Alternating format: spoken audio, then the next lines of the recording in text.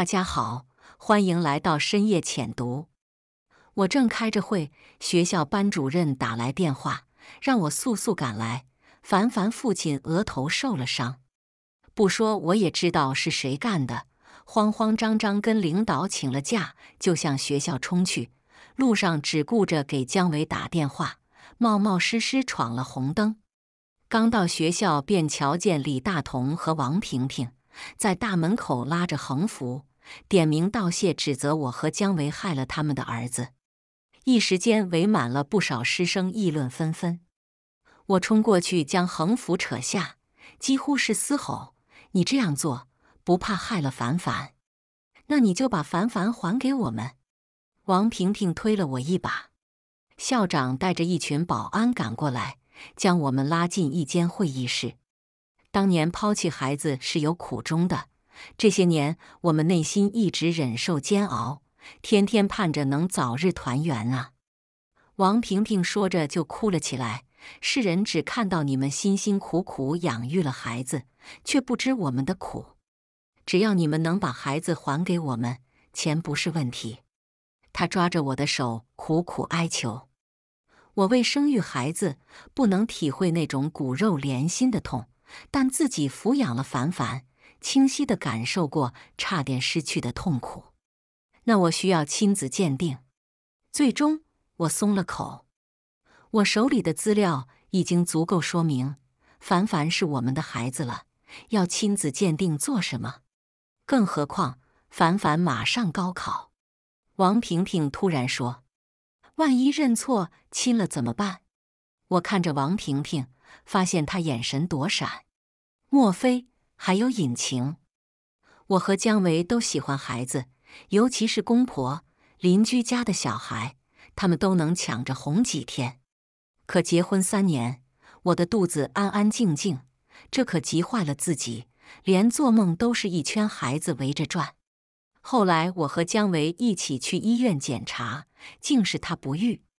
得知结果后，姜维提出离婚，他不想因为自己让我失去做母亲的权利。但我决定与他一起面对。正好姜维公司需派人去外地一年，我辞掉工作，决定跟着一起。等我们再回来时，手里多了个孩子。这个秘密，我们瞒着所有人。当初为了让谎言更加真实，我每天都要扮作孕妇，穿着婆婆给自己准备的孕装出门。与家人视频前都要反复检查衣着身形，以免露馅。公婆喜欢这个孩子，取名江雨凡，宇宙中一个平凡的孩子。他们并不知道凡凡是我们通过外地的福利机构领养的。对凡凡，我们尽心尽责。公公为了她戒了几十年的烟瘾，最喜欢广场舞的婆婆也收了心，还自主系上围裙，学习宝宝食物，全心全意带着他。小家伙从小就懂事，看爷爷咳嗽会马上帮忙捶背，奶奶在厨房忙碌时，他也会跟进去帮忙摘菜洗菜。公婆爱他到骨子里，每年的旅游也不去了。说凡凡就是他们一生中最好的风景。虽然我和姜维时常也担心真相揭露，但可爱的凡凡一天天长大，一年年过去，他们没丝毫怀疑，我们也渐渐放下心来。因为凡凡，我们体会到做父母的快乐，自然也有艰辛。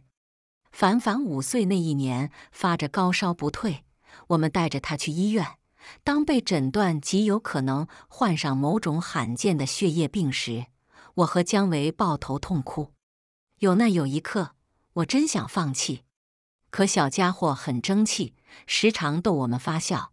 小小年纪的他明白医药费昂贵，为了节省开支，他竟要求每天只吃两顿饭。瞧他这么懂事，姜维抱紧了我们。我们不要放弃这个小天使。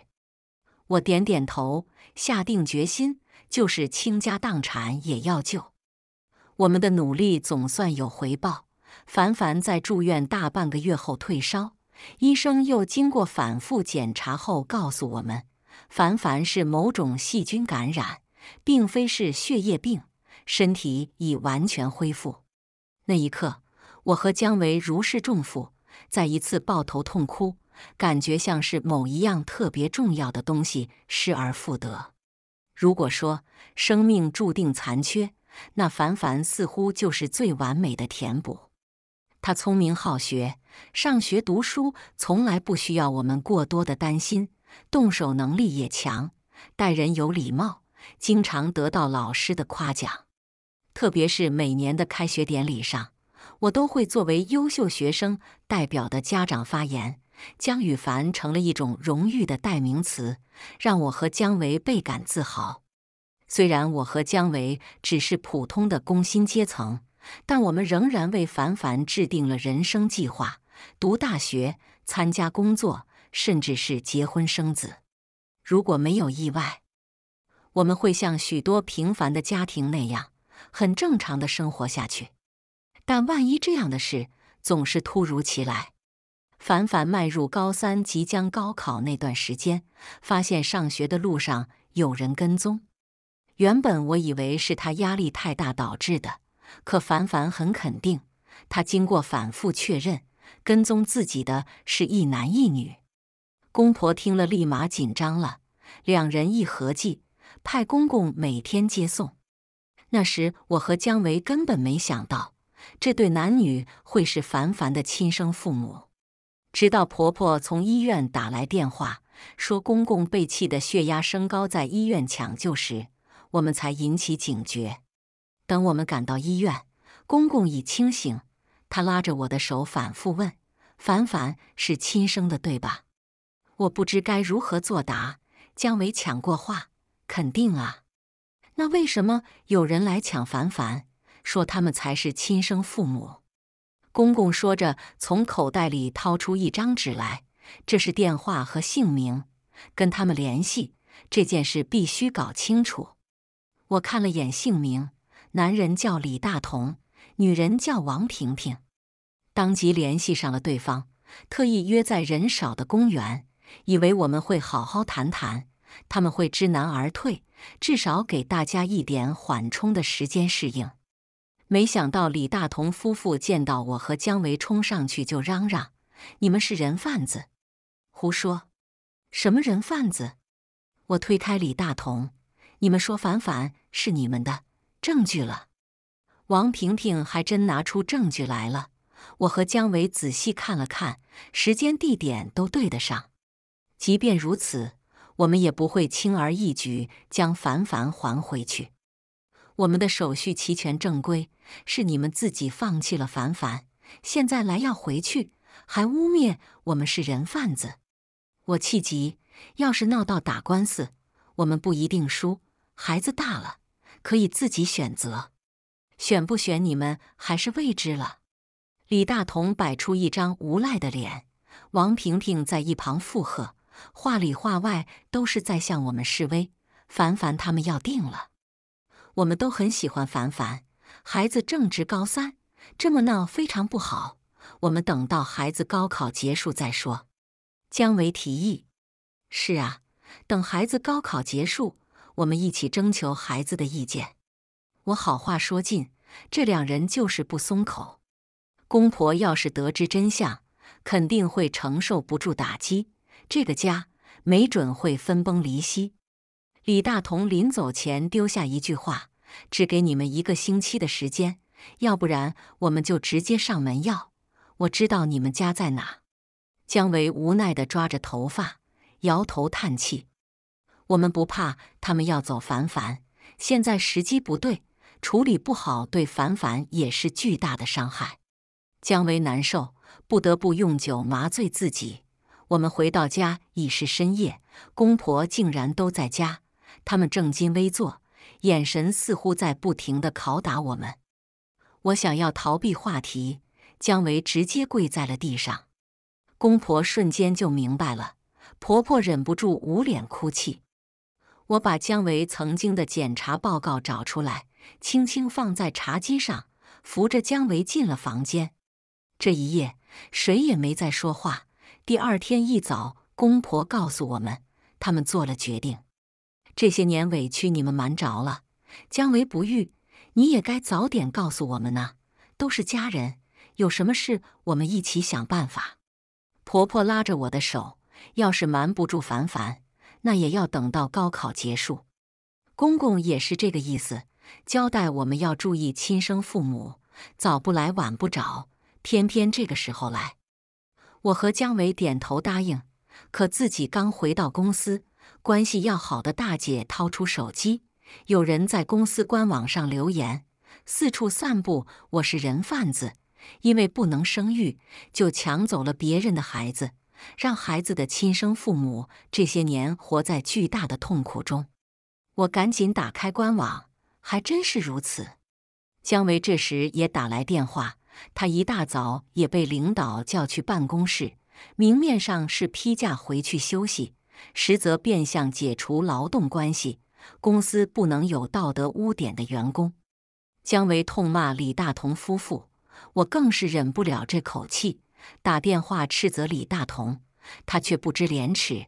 我说的是一个星期你们教人。其他的可没保证。他说完就挂了电话。我憋了一肚子气，无处发泄，气得踢翻了桌下的垃圾桶。不一会儿，姜维来找我，商议要不要去外地发展。凡凡考大学，并不会在当地读书。我所在的公司工薪待遇不过如此，姜维的事业也不是不能丢掉，倒不如忍受割舍。公公悄悄房子挂出去出售，我和姜维会尽早处理手里的工作。哪想我们悄无声息的举动，还是被李大同夫妇发现了，竟跑去凡凡的学校拉横幅。那次交谈，我们仍是不欢而散。不过王萍萍私底下找上门，说是要来家里看看孩子的居住环境，请求自己放弃亲子鉴定，不做也可以。你们放弃纠缠，我警告他，要不是为了凡凡高考，我们可不会这么被动。以你们的条件，也不能给凡凡更多的东西。王萍萍开始谈价还价。生下凡凡后，我身体受损，再也不能生育。大同的父亲病重，没多少日子了，遗产也有了归属。要是我们有孩子，就可以更多的财产。那可不是一笔小数，你们能等，我们可等不了。再说，凡凡跟着我们，将来有房有车，岂不更好？难怪你们是为了钱才来找凡凡啊！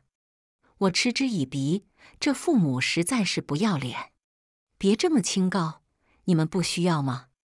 王萍萍冷笑：“只要你们放弃做亲子鉴定，劝说凡凡回到我们身边，价钱好说。”他见我无动于衷，又补充道：“凡凡将来还想回到你们也是可以的。”我忍不住挖苦：“你们是打算利用完凡凡，再把他丢回来，是不是？这么紧张亲子鉴定，是不是凡凡亲生父亲另有其人？”王萍萍狡辩：“凡凡成绩好，高考影响不了什么的。万一成绩真的不好，那也不要紧。”你们不再坚持做亲子鉴定，拿了钱走人，难道不好吗？我不愿再听，指着大门下了逐客令。我可以不要求亲子鉴定，但你们必须再等等，不能影响他考试。此事我告知了姜维，他震惊之余，更多的是感慨：凡凡乖巧善良，爹妈怎么这么不靠谱？是啊。王萍萍心里清楚，凡凡不是李大同的儿子，可为了即将到手的钱，仍将儿子找回。这样不仅能顺利拿到遗产，将来他还可以将孩子重新推回来。这桩瞒天过海的生意看起来还真是稳赚不赔。若不是我提出亲子鉴定，没准他已经拿到遗产，而我们拿了钱。余生就得帮王萍萍保守秘密了。可是余生很长，我和姜维不愿带着肮脏的秘密活着。李大同不负责任，王萍萍也不是善茬。趁着学校放月假，我们赶紧将凡凡接回家。他问起了学校横幅事件，一个大男孩满脸紧张。反复问我们：“真是他们搞错了，对不对？”你们是天底下最好的父母，我不想成为他人的儿子。我赶紧安慰他：“以前生孩子经常有报错的，放心，都解决好了。你是我们的亲生子，谁敢弄走？”凡凡这才笑起来，摸了摸胸膛：“那我就放心了。马上高考，我要全力以赴。”看孩子的样子，应该是完全相信了。我只能祈祷李大同夫妇不要再去打扰。可越是担心什么，越来什么。王平平有天半夜打来电话，说是凡凡的爷爷病情再次加重，怕是快了，很想看看凡凡。贸然让凡凡去见一个陌生人，太过唐突。可我们要是拒绝了，又于心不忍。我们的犹豫让李大同暴跳如雷，他在电话那头怒吼：“要是不带来，我们就去抢人！”想到公公的身体，凡凡的情绪。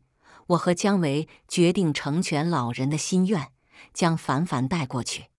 于是我编造了一个完美的故事：一位失去孩子的父母，为了找到自己的孩子，历经千辛万苦，没想到最后却是个乌龙。而孩子的爷爷即将过世，怕老人带着遗憾离开，凡凡需要冒充孙子送最后一程。凡凡善良，没多想就同意了。我们带着孩子连夜赶到李大同家，竟离得不远。看见我们来，王萍萍很是感激，围着凡凡左看右看。我担心露馅，小心的将凡凡拉回到自己身边。老人见到凡凡，拉着他不愿松手。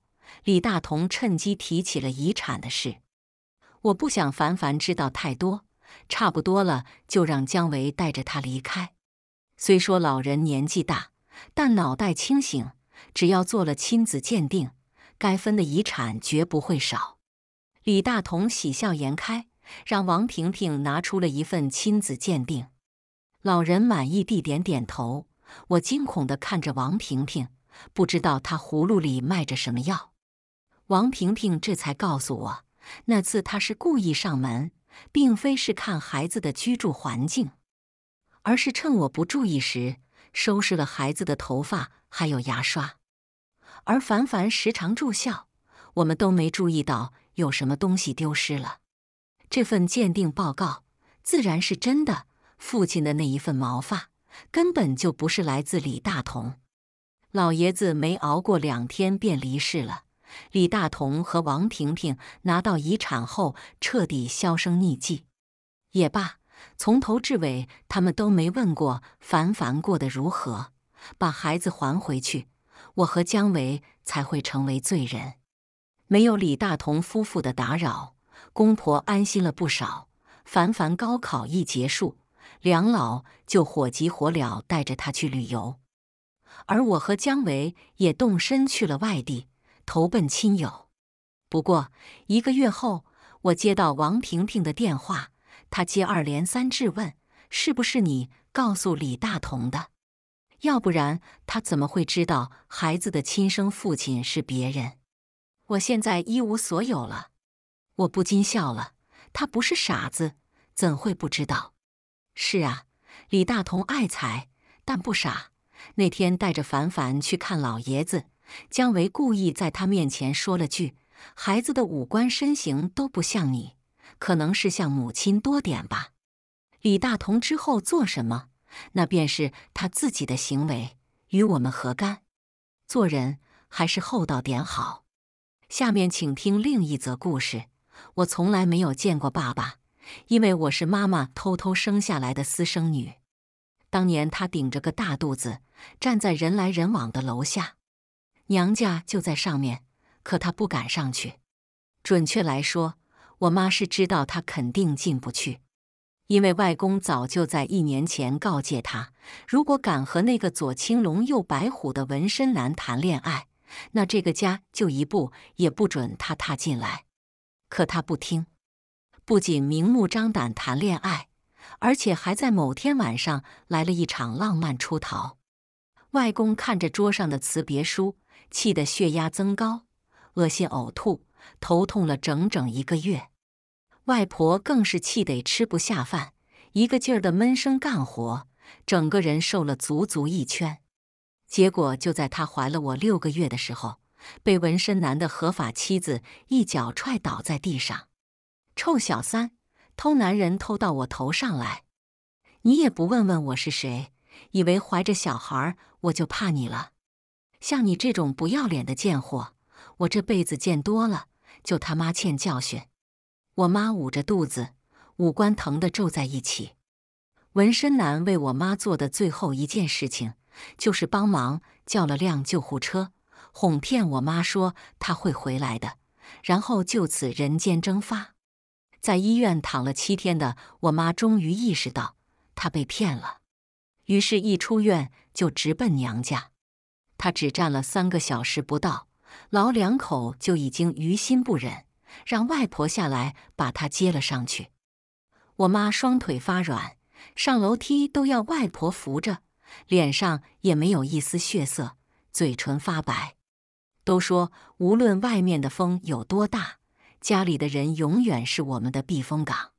那时候我妈也是这样认为。她被外公外婆好吃好喝的伺候着，孕晚期补足了所有缺失的营养。口口声声说以后会好好孝敬父母，寸步不离的留在外公外婆身边。我妈是独女，外公外婆听到这话，感动得热泪盈眶。日子一天天过去，从我咕咕坠地到我可以打酱油的年纪，我妈到底还是没长记性，本性暴露，哭着喊着要带我回去找那个男人。外公大发雷霆。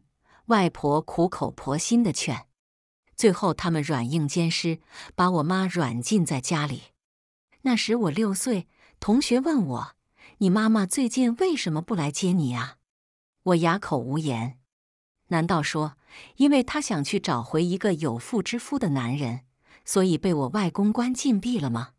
后来我妈终于想通了，她向家里保证，决心要忘掉那个不负责任的男人。他也确实做到了，只不过他采用的方法是目标转移。我妈开始和各种不同的男人吃饭，去小公园散步，去商场逛街。我经常被她带在身边，被迫跟她一起约会，看着她和不同的男人有说有笑，牵过一双又一双的手。有天周一，还是那个同学问我：“昨天在商场，我看见你了。”可是为什么你妈身边的那个男人和上次不一样啊？我再度难以启齿。自那以后，我妈就像一只花蝴蝶，男人换了又换。外公外婆觉得只要没有再闹着离家出走那一套，她想干什么就随她去了。但是人不能惯，越惯越是得寸进尺。高考那年春节，我妈终究还是越过了。外公外婆心里的那一道防线，她带回来一个男人，男人面相险恶，肤色黝黑，嘴里还镶着两颗金牙。我妈挽着他，笑里含羞地问我：“青青，你能不能叫他爸爸？”他刚说完，家里的气氛就犹如被一盆冰水泼下来，瞬间寂静。外公当即就发怒了，他丢下贴春联用的浆糊。一巴掌拍在桌上，你在胡说八道些什么？你又要像十几年前那样被人骗是吗？你在外面不三不四就算了，现在还把人带回家里，你是要把我气死吗？外婆相对宽容些，只是满面愁容的叹气。你要是找个本地的，我跟你爸也好有个照应。我们也是为了你好，可是你怎么就不听妈的话呢？这些年来，外公外婆不是没有想过再帮妈妈组一个家。老两口托人帮妈妈介绍过好几次对象，那些人全都是本地的，老实本分，有车有房。可是妈妈一个也不喜欢，她偏偏爱那些社会的边角料，一把年纪还追求一见钟情。交往过的男人一个比一个极品。看起来都长得像有高额悬赏金的通缉犯。他委屈地说：“爸妈，我们是认真的，这回我没有被骗。”外公怒吼打断他：“人家骗不骗你？难道还会写在脸上告诉你吗？你都是有孩子的妈了，能不能多个心眼？”一来一回，他们足足吵了十几分钟。我和那个男人对视一眼，他歪嘴朝我笑了笑，看上去是一种很不屑的表情。他听不懂我们这儿的方言，问我妈：“你们在说什么？”我妈立马换上一副小媳妇的样子，娇滴滴地说：“没什么，你先坐下吧。”你敢！外公气得火冒三丈，指着大门用普通话骂：“你们都给我滚出去！”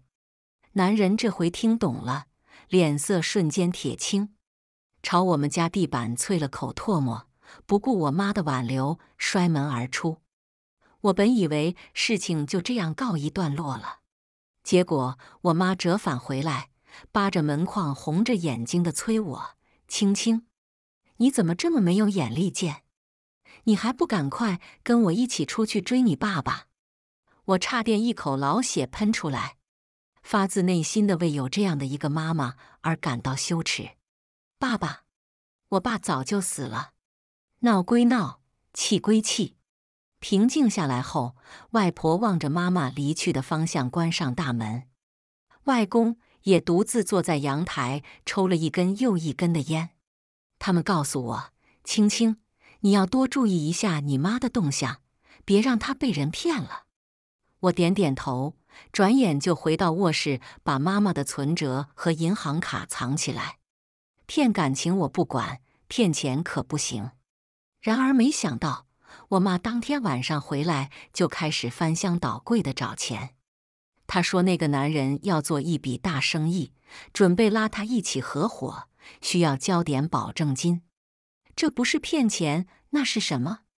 我坚决不肯拿出来。她转念一想。握着手机，笑嘻嘻的凑过来。那你教我怎么再绑定银行卡吧？我听人说绑了在上面就能直接发钱。我简直大开眼界，恨铁不成钢的说：“你们才认识多久啊？你就要上赶着给他钱？”他却听不出话里厌恶的意思，反而还兴高采烈的跟我讲起他们的情史来。从小到大。各种各样的爱情故事，我都在他那里听遍了，不外乎是一见如故，不外乎是相知恨晚。我妈每一次掉入爱情海的理由都不一样，但是又很一样，因为都很白痴。不知道过了多久，她终于看出我的不耐烦，品出了我决心拒绝的意味。大年三十夜，她板着脸看我：“青青，我可是你妈。”把银行卡拿出来！我气得连话都说不出来了，一头钻进被子里装死。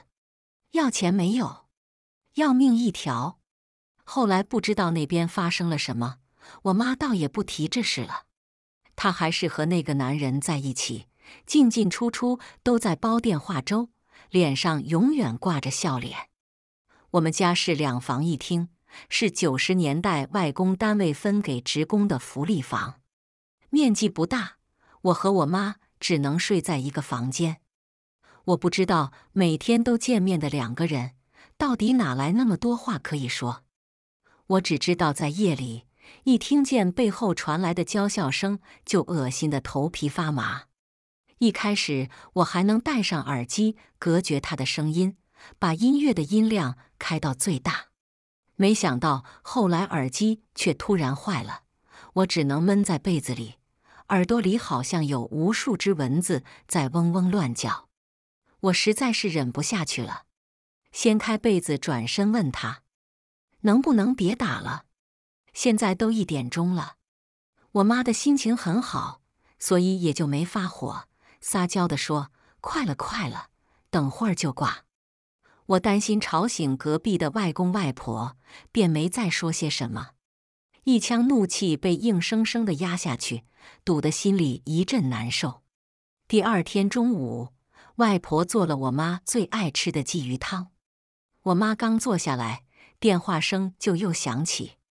她丢下碗筷跑去接，没一会儿又跳到阳台里，探出半个身子，喊道：“你来了，你等我，我这就下去。”其实这种事情已经发生过很多次了。春节假期，外公外婆好不容易等到我妈不用上班，我不用上课，想着一家人和和美美聚在一起，却屡次看到我妈冷不丁说走就走，而且还是跟一个他们极力反对的男人一起走。老两口食不知味。外公曾托人问过那男的背景，知情的人说那男的有过案底，还有一些小偷小摸的习惯。刚从牢里出来不久，就遇到了我妈，再加上前阵子我妈还回来拿钱，我们一致认为这个男的十分不可靠。外公外婆吓得几乎寝食不安，饭也吃不好，觉也睡不好。我们劝我妈及时回头，她却反过来瞪着眼睛问我们：“我看你们就是怕我赚钱发家吧？想要把我困在这个？”永生永世都没有出头之日的地方，是吗？我们愕然失语。那时候，我妈已经被那个男人灌了不少迷魂汤，任我们好说歹说，他就是油盐不进，执迷不悟的想要和他在一起，不准走，给我回来！外公把筷子往饭桌上一摔，拦住要出门的妈妈。妈妈顿时愣住。那个男人刚好跑上楼来敲门，外公便趁机气冲冲地警告他：“你给我滚回你自己家！我是不会让我的女儿跟你在一起的。”没等那人回答，妈妈就抢着为他抱不平：“爸，你怎么能这么说话呢？”当时我的脑海里飞速想起来“白眼狼”三个字，外公外婆的心情大抵也是如此。气氛安静了一瞬，外公的胸口不断剧烈起伏，气得浑身发抖，扔下一句话：“你要是敢走出一步，那你就给我滚出这个家，再也不要回来。”我妈沉默了，我看着她的眼神从犹豫慢慢变成决绝，像一株急速攀升的毒藤蔓，到了顶点却又突兀的落下来。他转眼换上一副柔弱的表情，把男人劝了回去，回到饭桌上，一口接一口的喝汤。我的心莫名不安，隐隐觉得这是一个危机四伏的冬天。果不其然，第二天下午，我妈哼着小曲回来，她把一本结婚证用力地拍在桌上，假模假式地安慰失魂落魄的外公外婆。我跟重生情投意合。夫妻公司税务又轻，你们也别怪我偷了户口本。我要是不这么做，我就拯救不了自己的未来。放心，爸妈，等我赚了大钱，一定不会忘了你们。说完，他转头看向我，笑得得意张扬。对了，还有一件事，我们要从这个家搬出去了。既然领证了，也应该住在一起。重生那边都准备好了。你也快去收拾行李吧，青青。我不敢置信道：“什么？搬家？我不走。”我妈踩着新买的靴子步步逼近，捏住我的肩膀问我：“不走？你生下来就只有你妈，你不跟我走，谁还会养你？你还有几个月就要考大学了，难道你想留在这儿让外公外婆给你付学费吗？”我吃惊地盯着他。一个字也说不出口。我的妈妈究竟是从什么时候开始变得这么咄咄逼人了？事后，外婆忧心忡忡地叮嘱我，让我到了那边要照顾好自己，兼顾好学习，最后才是看住我妈。说句难听的，我真是怕你妈后面也跟着那男人到牢里面去了。外婆说到这，声音变得含糊不清。难以忍受的哭了出来，我内心也跟着他的呜咽声一紧一紧的。寒风簌簌的天，我们站在门口等车，四个人只有我妈在笑。等了半天，徐重生终于开着一辆破面包车出现了。我妈的脸僵了一下，小声的问他：“不是才刚买了新车吗？怎么不开那辆？”徐重生没好气的掀开后备箱，看都不看他一眼。新车装东西不怕划痕啊？你们东西这么多，人也多，谁知道你们会把新车糟蹋成什么样？外公听到这话，脸色立马黑成锅底。偏偏徐重生还不小心撞了他一下，也没道歉，气得外公直接掉头回家。外婆看向外公的背影，又看向我们这边，最后捏捏我的手指，没出声的跟着走了。等到了新家门口，我妈看了看四周，小心翼翼的问：“咱家在哪呀？”徐重生一脚踹开面前这座脏兮兮的民房，木门吱呀吱呀的撞到墙上。这就是啊，你没长眼睛啊！我跟我妈都同时愣住了。眼前的景象不仅破烂不堪，而且还腐烂的像一个垃圾场。四方的空间里杂七杂八的，什么都有，歪歪扭扭的倒在湿漉漉的地上。还没走进去。我就闻到一股扑面而来的霉味，我扭头看向妈妈，问道：“我们真要住在这儿吗？”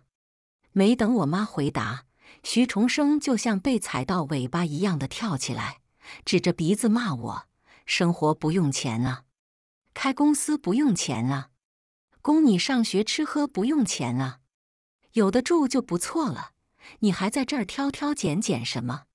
我用你什么钱了？”你跟我鬼叫干嘛？我立马回怼。徐重生更加生气了。我妈这时也冲出来数落我：“就是啊，青青，你也要多替你爸爸想想。生意刚起步，家里经济困难很正常。你就委屈几天，反正过几天你也要回学校住宿了，少说几句不行吗？”我感到心里的寒意越来越冷。夜里。我躺在临时用几张矮凳和木板搭建起来的床上，隔着一张布帘，我妈和徐重生在那边说闲话，不时有断断续续的娇嗔声传来，我难以入眠。第二天，我让我妈注意影响，她却不以为然。我们还没嫌你碍事呢，你最近怎么那么多毛病？到底还有几天才开学？我们之间的关系就是这样。被他用言语一点一点的分崩离析，我始终不明白，我妈为什么会这么恋爱脑。在新家被折磨了好几天，我终于熬到开学了。为了不再回去那个鬼地方，我申请了长期借宿，周末也留在学校里。我妈打了好几个电话劝我回去，可她并不是因为想我，而是怕我这样做。会让徐重生以为我是看不上那个家，才不愿回去的。他怕徐重生不开心，所以他要我回去哄徐重生开心，最好还顺路买点熟食、啤酒什么的。他说徐重生好吃这一口。我呵呵一笑，就挂断电话了。没多久，外婆那边却打了过来，她让我回去看看妈妈。听说徐重生最近在外面跟人打架了，心情不好。外婆怕妈妈受影响，又怕妈妈不愿意告诉他实话。可怜天下父母心。那个周末，我还是回了趟家。一到家门口，我就看见穿红着绿的妈妈，打扮的花枝招展的，正准备出门，而且她还罕见的化了个浓妆，大嘴唇红的招摇。只是膏体有点结块，粘在皮肤上面。我妈看见我，兴奋地走过来：“你怎么回来了？来的正好，跟我一起去参加同学聚会。人到中年，能炫耀的东西除了事业就是家庭。我妈只是个平平无奇的厂妹，事业让她抬不起头来。家庭其实也没什么好说的。”毕竟那个公司到现在还没什么动静，但是他生了一个念重点高中的我呀。于是，在整场聚会上，我一直被他推出来到处显摆。有几个人客气地问他教育理念是什么，他口若悬河，说得头头是道。我在心里暗笑：一个连我在几班都说不出来的妈妈，也好意思说有教育理念可言。众人其实也听得出来，他说的牛头不对马嘴的，最后纷纷改口夸我自觉聪明。我妈不乐意了，她愤愤地把杯子里的酒一饮而尽，抬头换上一张梨花带泪的脸，向大家卖起惨来。青青这孩子什么都好，可就是有一点不好，不喜欢他爸。他为了躲他爸，躲我们这个家。整整一个多月待在学校不回来，我不知道打了多少个电话，一直在劝，可是没用，他不听。想当年，要不是我一把屎一把尿把他拉扯长大，他怎么会有现在的成绩？为了他，我已经失去了十几年的幸福。现在好不容易遇见一个真爱，偏偏孩子不支持。哎，他欲言又止的，故意把话题掐断在这。周边的人听完，全都情不自禁同情起来。风评大转，所有人突然劈头盖脸的劝我为我妈着想，劝我做孩子的也不能太自私。我只能不断的尬笑，闷闷的一直坐到聚会结束。回到家，我妈推开门，看到徐重生坐在沙发里，立马屁颠屁颠的跑去给他送去熟食。还帮他脱袜、穿鞋、开暖气，一套流程一气呵成，一看就知道他一定是很习惯这么做了。我忍不住在内心翻了个白眼。徐重生淡淡的看了我一眼，没说话。我妈就在边上瞪我，怪我没礼貌，不出声叫人。然而没一会儿，他在帮徐重生洗衣服时，从外套的兜里翻出了两张电影票。他一改热情，我看着他像福尔摩斯上身一般，镇定自若地走到徐重生身边，神不知鬼不觉地偷走他的手机，点开订单和聊天记录，确认完毕后，冷下脸来，似乎也击碎了他的心。这个女的是谁？为什么你叫她宝贝？为什么和她去看电影？徐重生闻言一怔。我第一次在他脸上看到了惶惶不安的表情，在徐重生准备解释之前，他用犀利的眼神把我轰了出去。等他摔门而出，离开这个家，我才有机会跑进去看妈妈。她软趴趴的倒在床上，哭得撕心裂肺，还没来得及卸的妆，此刻变得一塌糊涂，眼圈又红又黑，整张脸煞白。他看见我。朝我伸出手，把我握得很紧。青青，他出轨了，他在外面有别人了。我这么爱他，他怎么能这么对我？我该怎么办呢？我仔细打量他的表情，看上去悲痛欲绝，仿佛还带有一丝悔意。到底是母女连心，我对他的遭遇感到一种说不出的揪心，伸出手拍他后背，柔声劝慰他：“妈。”这种事我们不能忍让，有一次就有无数次。趁现在你还陷不深，我们一起回家外公家吧。我妈想了许久，慢慢地点了点头。我当下就趁热打铁的把所有行李都打包起来。可就在要走的时候，徐重生带着一束廉价的玫瑰花回来了。我的心一颤，有种不好的预感。看着妈妈的嘴角越来越上扬，他们的身体靠得越来越近，最后我妈依偎在他的怀里，而徐重生挑眉冲我得逞般的笑，我就知道我妈的恋爱脑又发作了。世界上比劝人分手，结果他复合了更恶心的事，他还反过来怪你误会他的爱人。我妈抱着能熏翻天的玫瑰花，一脸不满地说：“我。”青青啊，你还是年纪太小，又太冲动。以后发生了这种事，你应该学会和别人沟通。要不是你爸回来的早，及时拦住我们，否则他推开门看到空空荡荡的房间，他该多伤心呀！我扭过头去，把自己的行李收拾起来。那天是周五，我原本计划周日再回学校，可是，在第二天的周六。发生了一件让我再也不想在这个家多待一分一秒的事情。那时我正在椅子上看书，酒气熏天的徐重生跌跌撞撞地跑回家。他喘着粗气地抵在门背后，一直到外面一阵吵闹的脚步声消失了，他才松了一大口气，整个人靠着门瘫坐下来。我妈没见到这个情形，还以为是出了什么事，一出厕所就着急忙慌地去扶他。扶起来走路的时候，忍不住嘟囔了句：“怎么喝这么多酒？”这句话不知道是先到了徐重生的哪片逆鳞。他把我妈甩到一边，拿酒瓶砸墙，把尖锐的那一面朝着我妈走过去，不断说着污言秽语骂他。我吓坏了，我妈也吓坏了。我猛地冲过去，推倒徐重生，用尽全身的力气想要扶起我妈，可是我的手在抖，我妈的身体也使不上劲。拉扯了好一会儿，我们也只是勉强站了起来。徐重生这时也撑着地板站起身，手里还握着那半截酒瓶，做事朝我们走过来。你要干什么？家暴是犯法的，你知不知道？我只能试图用言语来阻止，死死地护住浑身发软的妈妈。犯法？徐重生被气笑，老子打自己的女人，犯什么狗屁王法？我想打就打，想骂就骂。谁叫你们惹老子不开心？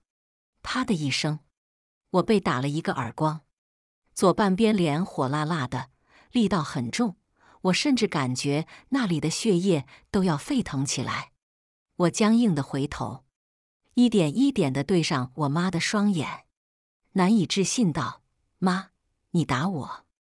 我妈莫名还愤怒起来，她气得鼻孔急剧收缩，直接把我推倒在地。刚刚还软的像一滩烂泥的他，现在犹如力量觉醒，连说话都铿锵有力。谁叫你惹你爸生气呀？我还以为你爸怎么发脾气了，原来是你搞的鬼。你要是不喜欢这个家，你就给我滚出去，我这里也容不下你这尊大佛。我吃痛的抿紧了嘴唇，随后又自嘲的笑了下。谁能想到，短短两天。我就以不同的方式被我妈背叛了两次呢。我一心一意的为她好，可她的眼里却只看得到徐重生。徐重生出轨是我不够宽容，徐重生家暴是我不乖惹他生气。徐重生就是他的天理，而我和外公外婆是他奔向美好生活的拦路虎。我终于看清他的真面目，横下心来。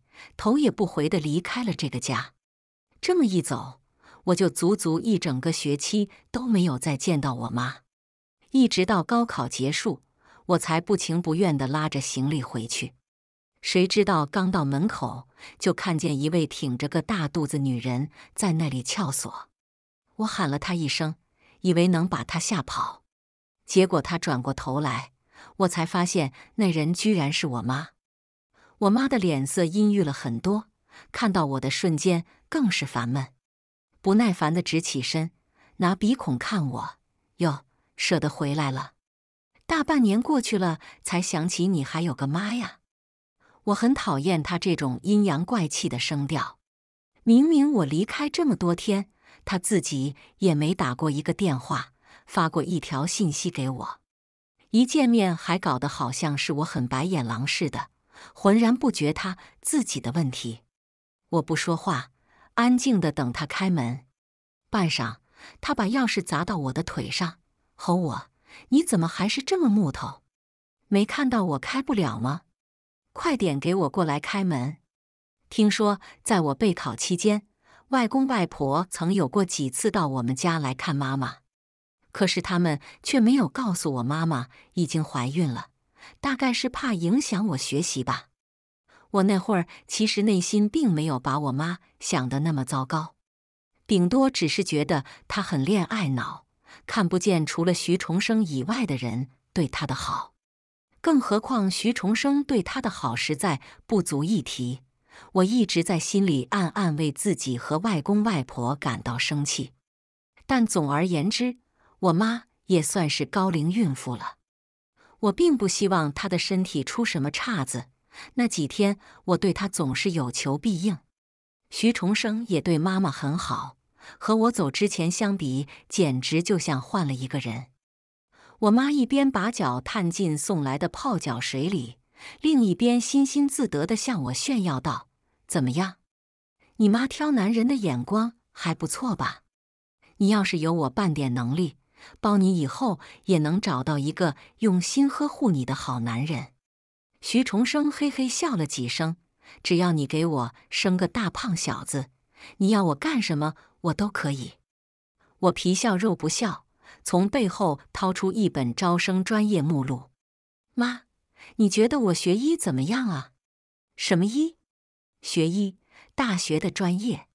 哦，我妈不冷不淡的睨了我一眼，说到这个，忘记跟你说了，家里钱不够，你弟弟又要出生，你别上大学了，留在这里打工吧。我浑身定住，不敢置信的瞪大了眼睛。片刻后，又试探性问了一遍：“妈，你在说什么呀？你是跟我开玩笑的吧？谁有心情跟你开玩笑？滚滚滚！别挡我看电视，吵死了！”我忍不住呼吸急促。三十度的天气，心里却结成一块冰。徐重生忽然出声：“对了，你把这个签一下。”我看过去，桌子上的 A4 纸上赫然写着几个大字：“赡养协议。”心脏跳得更快了。我一行一行的看过去，原来除了赡养父母，他们还让我每个月都必须付一笔抚养弟弟的生活费。我丢下协议：“你们自己生的小孩，凭什么要我来养？”我妈那恶狠狠的眼神一下子就杀过来。用一脸恩赐的表情说：“你到底有没有看清楚那个协议？上面都写了，等你弟弟出生后，把你爸的公司给你，你还想怎样？”青青，你虽然是我的女儿，但是该说的我还是要说，做人不要太恬不知耻。徐重生也跟着搭腔：“是啊，那个公司我找人注册花了多大的心血，你别给脸不要脸。”笑话，荒唐至极！我难道会不知道那是一个空壳公司吗？他们难道以为我真的会满意这样的处理结果吗？原来我在他们心里只不过是一条给他们赚钱的命，而他们连同那个未出生的孩子，都即将是趴在我身上臭不要脸的吸血鬼。我最后一次看向我妈，心如死灰的问：当初搬家之前。你不是说好了给我付学费的吗？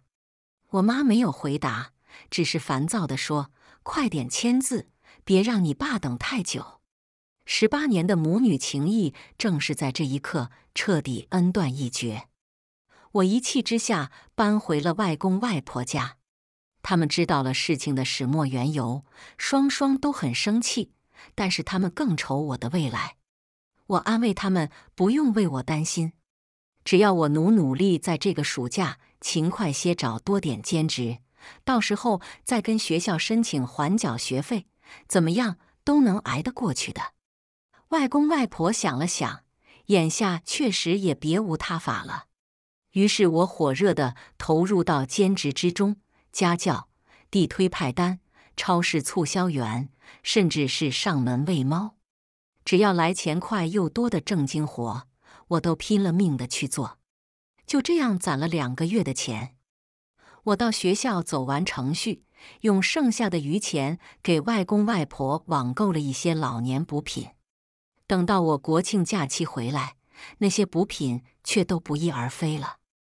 我问外婆，外婆坚称家里从来没有看见这些东西。我这才知道，楼下快递寄存点的老板。一直都是把我们家的快递直接通知给我妈。这些天以来，被我断断续续寄回家的东西，全都被我妈吞进肚子里了。因为不想浪费大好假期时光去和我妈对峙这种事情，所以我想这就算了，自认倒霉。外公拿着两张银行卡过来问我：“青青啊，你帮外公看看。”怎么这几个月这卡里一直都没有退休金呢？我跟你外婆到银行去，总是取不着。不看不知道，一看我的内心就升起一团火。这哪里是他们两老的银行卡？这分明是我当初藏起来的那两张银行卡。我妈不知道在什么时候找着了，索性取走卡里所有的钱，改成和外公外婆一样的密码，然后又到家里调包，把真正能发放的退休金的银行卡自己独吞，用里面的钱去养他和徐重生，去养那个肚子里的孩子。我忍无可忍，攥着银行卡夺门而出，来到我妈面前，我把银行卡扔在桌上。他轻蔑地笑了下，摆出一副就算拆穿了你也拿我没办法的样子。外公跟在我后面，不小心踩到台阶上的青苔，差点摔了一跤。好在外婆眼疾手快地扶住。他目光呆呆的，站在原地沉默了许久。算了，外公环视这个阴暗又潮湿的房间，脚步沉沉地迈出去。算了，青青。我们回去吧。我在他们眼里看到了为人父母的疼惜，而同样是父母的我妈，脸上却闪过一抹侥幸逃脱的窃喜。我们三人最后怀着各色情绪准备离开，我妈突然拉住我，塞给我纸和笔：“青青，快把这个签了，你弟弟快出生了。外公外婆心疼他，可是我不心疼。”我早就知道他这个人冷面无心、自私又自利。小时候让我去给那些他看上的男人跑腿，长大了让我帮他养男人。我漠然地抽回了自己的手，退了好几步。我妈僵了僵，把手缩回去，摸着圆圆的肚子，眼中浮现出不忿。再怎么说，你也是弟弟的姐姐，你就这么没有良心吗？我笑出声。良心，你有良心吗？你不是经常说有其母必有其女吗？你没有良心，我怎么可能会有良心？我妈激动起来，一只脚刚踏上台阶，另一只脚就迫不及待抬起来。被踩中的那个地方，正好是外公刚刚差点滑倒的位置。同样的，我妈也摔了下去，只不过由于距离过远。我们三人都没能赶过去扶住，鲜红的血从他的身下流出来，一直染到那片青苔上。我妈怀孕八月的这天，孩子没了。徐重生接到消息之后，不知道从哪里赶来的，光着膀子，青一块紫一块，看上去像被人打过。我妈做完手术还在昏迷，她跑去问主治医生，医生说：“抱歉。”小孩确实保不住，请家属节哀。徐重生点点头，很快就像疯了一样，又哭又笑地跑出了医院。外公心里承受不住，我就送他先回去了。等到我折返回来，看见外婆不知所措地站在走廊内，哭得两只眼睛都肿起来。外婆，怎么了？话音刚落，病房里面就传来一阵。物品噼里啪啦被摔掉的声音，我妈歇斯底里的在里面喊：“孩子呢？我的孩子呢？他不是应该在我的肚子里吗？怎么我的肚子瘪下去了？”我推开门，他一看到我就想坐起来，奈何身体实在太痛，又或者是过于虚弱，他只得颤抖着嘴唇伸出手指我：“你是你害了你的弟弟，害了我的儿子。”要是你乖乖签了那个协议，这一切就不会发生。赶来的护士见怪不怪地安抚他的情绪，连忙把我推出病房。病人现在情绪激动，如果你们的出现会刺激到他，那麻烦最好先回避一下，谢谢配合。我点点头，挽着外婆一路向外走。外婆已经收好了情绪，只是怅然若失地叹了好几声。我也不知道该说些什么，陈静又茫然地走回了家。后来，我妈一直拒绝我们去见她，只要我们一踏进病房，她就朝我们扔东西。像一个泼妇，大喊大叫的，惹得最后医生也委婉的让我们不要再来了。国庆假期结束，我又重新回到学校。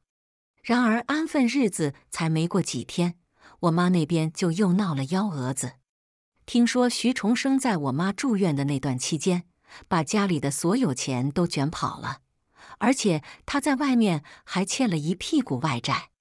我妈出院后回到家，大门形同虚设，家里一片狼藉，值钱的东西全都丢得没影，剩下的都是些破烂玩意。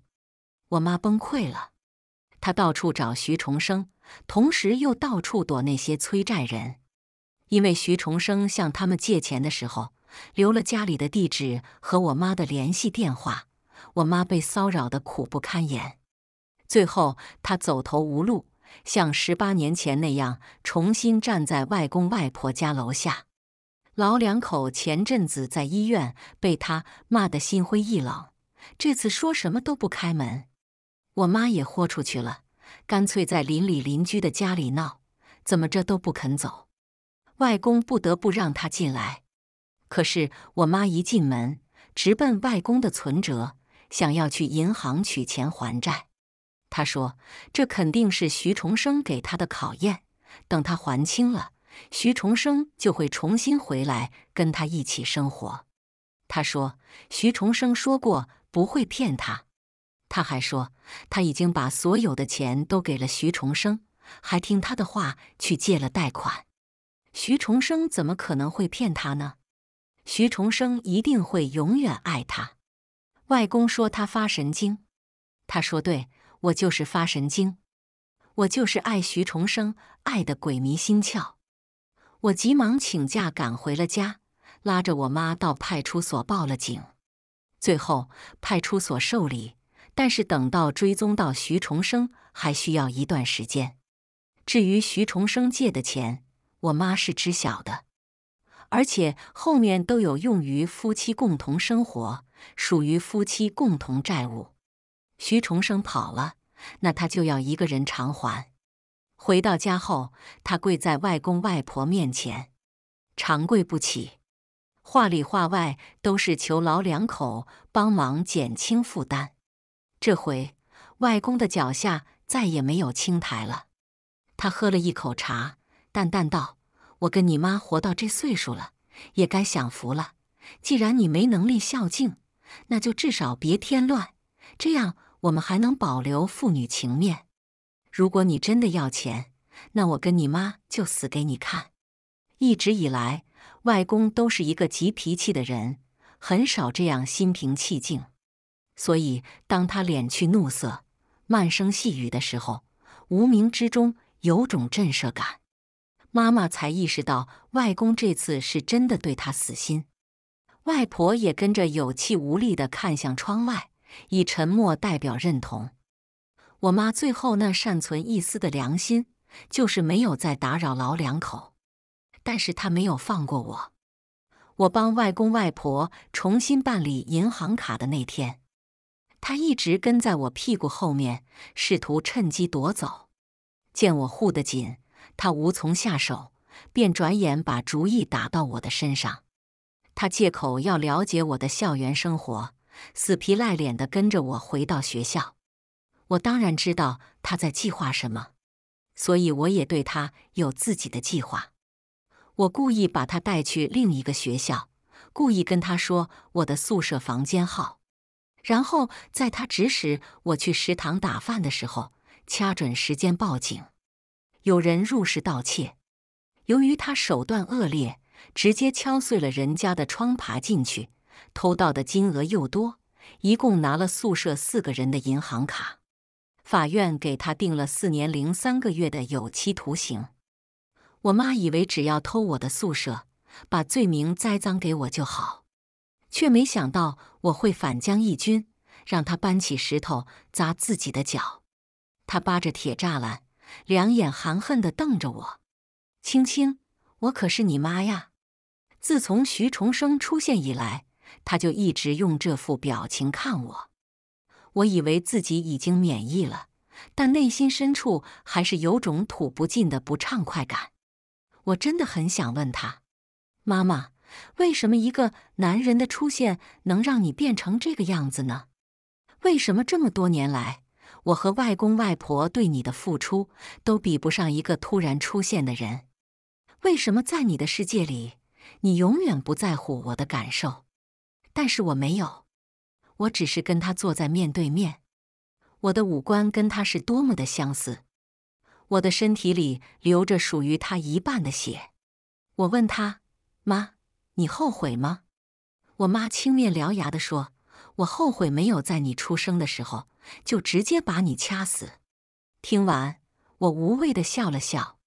律师跟我说，交了保释金就可以暂时出狱，真的？我妈恨不得把脸挤过来，目光炯炯的问我。青青，你说的是真的？